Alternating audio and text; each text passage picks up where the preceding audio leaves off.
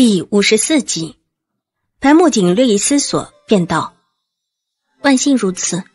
不过，既然能够在大舅母的眼皮子底下给大舅舅下药，还真不是一件容易的事儿。大舅母可曾查过了府里的吃食，有没有什么发现呢？”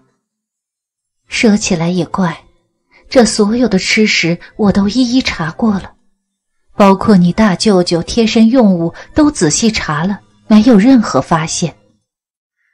要不是那日机缘巧合，你大舅舅从外面喝了酒回来，身子不爽，恰巧韩太医也在，就给他诊了脉，才发现他身子不妥。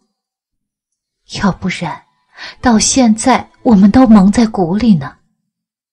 秦氏说起这件事，人心有余悸，白木槿却感到一丝古怪。要说在吃食中下药，为何大舅母却没有事儿，独独大舅舅中了招？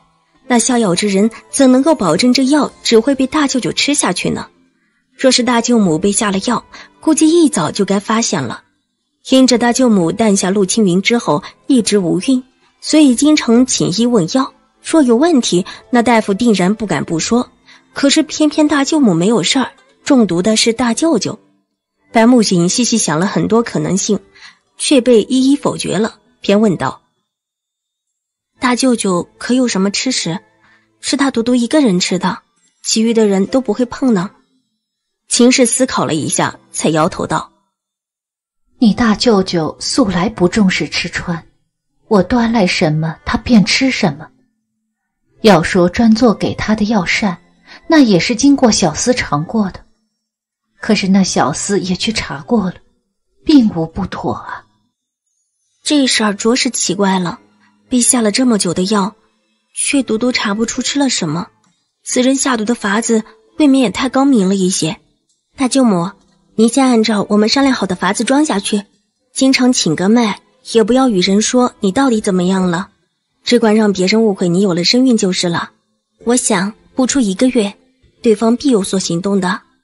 秦氏点点头，也觉得此事颇有蹊跷，沉沉的叹息了一声，唉。也只好如此了。可是我这身子瞒得住别人，怕是瞒不住我身边的丫头婆子。要是小日子来了，该当如何？白木槿笑了笑，有一些不好意思道：“我想崔嬷嬷应该有法子让您避过去的。”崔嬷嬷也笑着道：“说别的，奴婢还帮不上，这个嘛，我倒十拿九稳。大奶奶就放心吧。”秦氏听了，着实有一些惊讶。他是个内院妇人，哪里听过这稀奇古怪的法子？却不知道瑞嬷嬷这种久在宫廷的老嬷嬷，对这些阴司最是了解的。崔嬷嬷和瑞嬷嬷同出一门，自然也不会不知道。有些药可以推迟月经，还能够让人有假孕的征兆。干呕、嗜睡、喜食酸辣，不少人中了招，而自以为是怀孕。钻进了别人给下的套子里，陆老夫人拍了拍秦氏的手。哎，这些年呐，你也受了不少委屈，因着你一直没再有孕，我那大儿子也没少给你气受。秦氏红了眼睛，对自己这个婆婆是没有任何怨言的。虽然夫君多年来一直心存怨怼，但是婆婆却从未给她摆过脸色，反而诸多安慰。母亲，您也跟着媳妇儿受了不少夫君的怨怼。其实当年若不是那件事儿，说不定还能有几个妾室能为夫君开枝散叶。秦氏说着，倒有几分后悔的意思。陆老夫人一听，就拧着眉头道：“哎，说的什么话？那个女人心思如此歹毒，哪个能容她？”内宅里有这些个妾室在，就是要家宅不宁的。昭然大事上倒还聪明，可偏偏不懂这内宅的阴思，所以啊，才会被那女人哄得团团转。真真是家门不幸啊！白木槿听着话筒，似乎大舅舅当年还纳过妾，而且这妾似乎很不安分，闹出了一桩大事。他前世也没曾听过这件事情，想来也是很早之前发生的。这些年，大舅舅一直未曾纳妾，他还当是大舅舅专情，却原来内有隐情。白木槿叹息了一声，果然家家都有本难念的经。秦氏擦了擦眼角，似乎有一些憋不住眼泪的样子。母亲，不瞒您说，我总觉得夫君还对当年那薛氏念念不忘。您说当初我们选择隐瞒事实，究竟是不是错了？夫君心里头怕是责怪我的，以为是我耍了手段，将薛氏给逼死了。陆老夫人听了薛氏的话，眼睛瞪得大大的，倒吸一口凉气。你说的可是真的？哎呀，他怎么这么糊涂啊？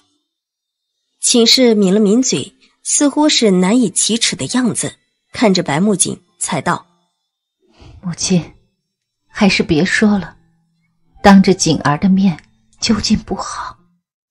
白木槿一直眼观鼻，鼻观心，倒是没有在意这些话题，只是话中传播的信息却让他心里一惊，一种奇怪的念头掠过心头，但只是短短一瞬就消失了，怎么也抓不住那是什么。白木槿摇了摇头，暗怪自己多心，而陆老夫人似乎也意识到。这个话题毕竟不适合当着白木槿的面讨论，也就干脆转移话题，说了一些没要紧的事儿，又陪着陆老夫人和秦氏聊了许久，白木槿才辞别两位长辈。今日他出门还有另一个打算，所以便不能久留。离开陆家，他便令马车拐到京城最繁华的一条街。说起来，这里还有他娘的陪嫁铺子。今日他便准备过来自家铺子里选几样看得过去的物件。作为木心平的添妆，马车在珍宝斋的铺子前停下来，却发现铺子前似乎门口罗雀。走近一看，连掌柜的都撑着下巴在打瞌睡。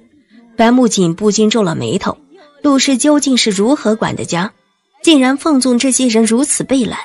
白木槿压下心头的不悦，便领着喜鹊和鸳鸯走进去，